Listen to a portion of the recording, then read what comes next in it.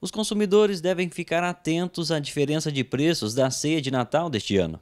Isso porque o Procon de Maringá realizou uma pesquisa de 86 produtos tradicionais da ceia em oito supermercados. O levantamento comparou os preços mínimo e máximo, apontando uma variação geral de 28,2%. O que acontece em todas as pesquisas que nós fazemos aí, seja de ovo de Páscoa, de produtos de Natal, de materiais escolar, existe uma, uma diferença muito grande né, que, que, que um estabelecimento está praticando entre outro seja o mesmo produto, mesma marca, mesmo peso e tem uma diferença muito grande. Em alguns casos, a variação pode ser ainda maior.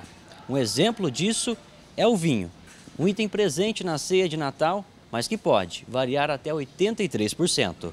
E tem consumidor que não abre mão de economizar. Normalmente a gente presta atenção nas é, propagandas é, no, na televisão e nos encartes que recebe.